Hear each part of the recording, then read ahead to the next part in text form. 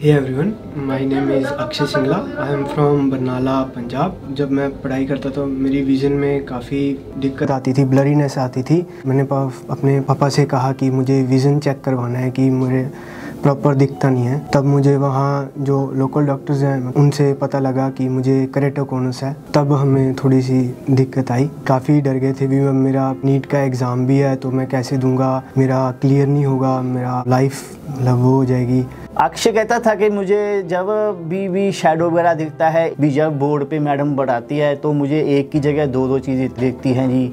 तो हमें ऐसा लगा भी चलो ऐसे भी वो नॉर्मली कोई आई पर प्रॉब्लम होगी जी। इसके बारे में क्रैटोकोन की ज़िंदगी के बारे में हमने कभी ना तो कभी किसी से एक्सपीरियंस हुआ था ना कभी सो, सो, सोचा था भी ये भी कोई बीमारी होती है। हमें तो पता ही पता ही नहीं था। तो हमें लोकल डॉक्टर को दिखाया बरनाला में। तो उन्होंने कहा भी इसको थोड़ा सा भी क्रैटोकोनस की मुझे लगती सकती है प्रॉब्लम, लेकिन मैं श्योर्ड नहीं हूँ, आप बठिंडा में या अम्बर अमृतसर में दिखा लो बढ़िया डॉक्टर को। लेकिन जो मन में पक्का विश्वास हो गया कि डॉक्टर राहिल से कराना है जी, और इनकी इतनी हमें गाइडेंस वगैरह रही जी, और जो भी विश्वास लेकर हम आए थे दिल्ली जी, उससे बेटर हमें विश्वास मिला है जहाँ पर डॉक्टर राहिल से। जो इन्होंने कहा, उतना ही है, उसमें कोई भी झूठ नहीं है, भी इन्होंने कोई फालतू बात कह दी, भी ऐसे बढ़ा चाह के जो भी इन्होंने करेक्ट बोला है एज इट वही एक्सपीरियंस रहा है हमारा ये।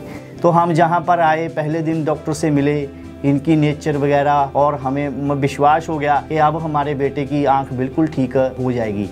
हम जिस दिन आए थे, उसी दिन हमने फैसला कर लिया था, अभी अभी करवाना है। कि मतलब इतना इन्होंने विश्वास करवा दिया था हमें उसी दिन ही।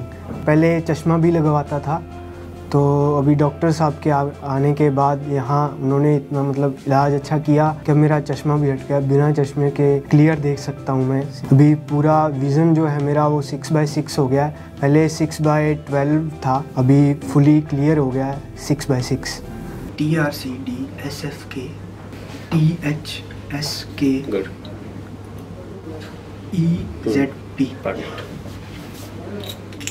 इसमें तो ठीक है ना लास्ट लाइन तक? R Z U C D F E spread तो नहीं हो रहा?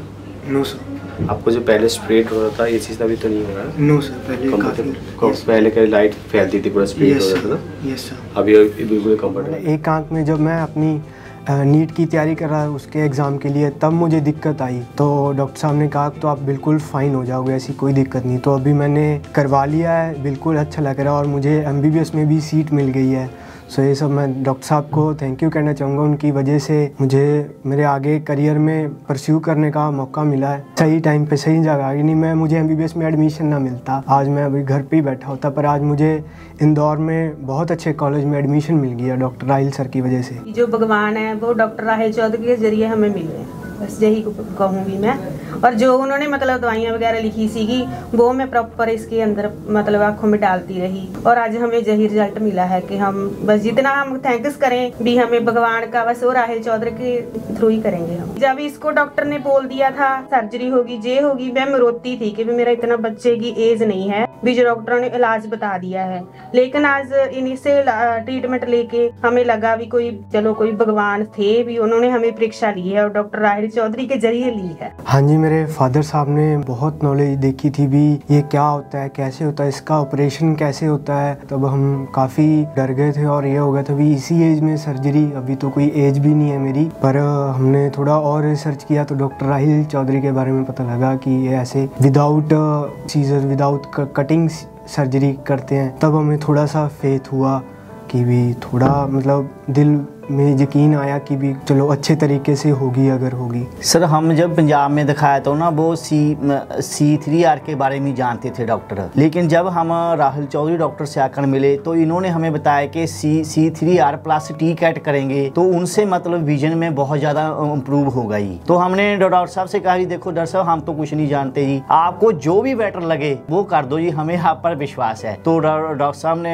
हमारा G T CAT plus C three R किया और बहुत ही ज़्यादा विजन का फ़र्क पड़ा, बहुत ही बढ़िया रिज़ल्ट हमें मिला जी। सानू मतलब थे डॉक्टर राहिल चौधरी को लाके बहुत ही चंगा ट्रीटमेंट आया साढ़े को ताकि जो मेरी अखा ने उन्होंने एक नवा देखने मिलेगा मेरी एम बी बी एस की अगे पढ़ाई है ਉਹ ਮੈਂ ਡਾਕਟਰ ਰਾਹਿਲ ਚੌਧਰੀ ਦੀ ਵਜ੍ਹਾ ਨਾਲ ਪੂਰੀ ਕਰ ਪਾ ਰਿਹਾਗਾ ਹੁਣ ਮੇਰੀ ਅੱਗੇ ਜੋ ਪੜ੍ਹਾਈ ਨਹੀਂ ਅੱਗੇ ਨਹੀਂ ਟਫ ਕਹਿੰਦੇ ਆ ਵੀ ਰੀਡਿੰਗ ਅੱਗੇ ਨਹੀਂ ਪੜ੍ਹ ਪਾਉਂਦਾ ਪਰ ਉਹ ਡਾਕਟਰ ਰਾਹਿਲ ਚੌਧਰੀ ਕਹਿੰਦੇ ਕਹਿੰਦੇ ਇਹੋ ਜਿਹਾ ਕੁਝ ਨਹੀਂ ਹੋਏਗਾ ਵੀ ਤੁਸੀਂ ਅੱਗੇ ਆਪਦੀ ਪੂਰੀ ਪੜ੍ਹਾਈ ਕਰੋਗੇ ਪੂਰੇ ਚੰਗੇ ਅੱਗੇ ਡਾਕਟਰ ਬਣੋਗੇ ਤੁਸੀਂ ਜੇ ਹੋ ਸਕਿਆ ਤਾਂ ਉਹਨਾਂ ਦੀ ਵਜ੍ਹਾ ਨਾਲ ਉਹਨਾਂ ਨੂੰ ਧੰਨਵਾਦ ਕਹਿਣਾ ਮੈਂ सर इजी तो नहीं नहीं नहीं था लेकिन बेटे की आंखों से ज़्यादा हमें कोई मतलब औखा भी नहीं था नहीं कुछ भी हमें फेस करके मतलब ਇੱਥੇ ਆਉਣਾ ਆਉਣ- ਆਉਣਾ ਪਿਆ ਤਾਂ ਅਸੀਂ ਮਤਲਬ ਉਹ ਕੀਤਾ ਜੀ। ਇਹ ਔਖਾ ਤਾਂ ਹੈਗੀ ਆ ਸਵੇਰੇ ਅਸੀਂ 2 ਵਜੇ ਉੱਠਦੇ ਹਾਂ ਜੀ ਫਿਰ ਇੱਥੇ ਮਤਲਬ 10 ਵਜੇ ਨੂੰ ਪਹੁੰਚ ਸਕਦੇ ਹਾਂ ਜੀ। ਪਰ ਬੇਟੇ ਦੀ ਅੱਖਾਂ ਤੋਂ ਉੱਤੇ ਸਾਡੇ ਲਈ ਕੁਝ ਵੀ ਨਹੀਂ ਸੀਗਾ ਜੀ।